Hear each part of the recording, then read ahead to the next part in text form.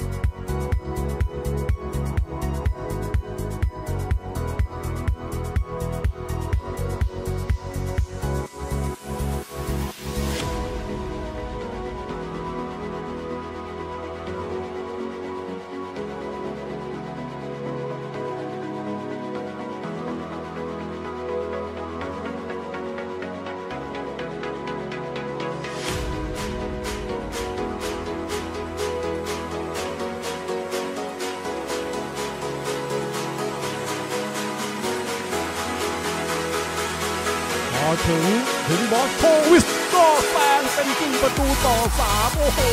เป็นครั้งแรกที่แบงคอกแซงอาร์มี่ในเกมนี้นะครับ โอ้โห